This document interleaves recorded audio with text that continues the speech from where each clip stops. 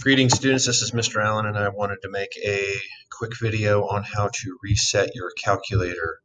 So let's say that you've got your graphing calculator and you've got some crazy function in it.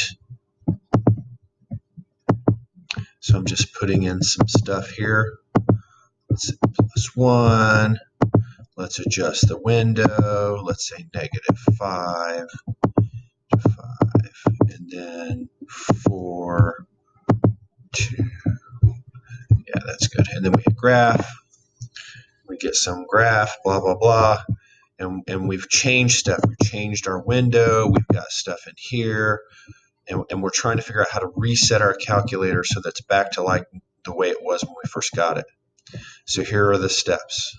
Hit the second button, this blue button go to plus, which is going to be the memory menu. You'll see the options here. We want to hit number seven, which is reset. So I'll press seven. And then I clear all RAM. I don't have any programs I want to save or anything like that. You probably will not either. And then it says reset RAM. Are you sure you want to reset RAM? Basically, yep, I'm going to reset it. As soon as I hit reset, it says RAM cleared. You'll notice that there's no longer anything in my y equals. You'll notice that my window is set back.